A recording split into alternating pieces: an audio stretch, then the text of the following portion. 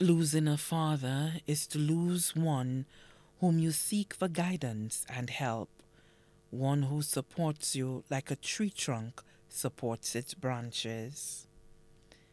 It is with saddened hearts that we, the family, announce the death of our dear father, Joseph Raymond, also known as Jojo or Jojo Bland, or all the fives of La Guerre Babonneau. He left this world on July 17, 2022, at the age of 74. He passed away at the OKEU Hospital. He was a retired orderly of the Victoria Hospital. The funeral service for our father, Joseph Raymond, will be held on Thursday, August 11, 2022, at 11 a.m. at the Balata SDA Church. His body will then be interred at the Babonneau Cemetery.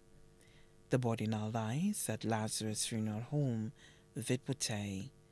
May his soul rest in peace.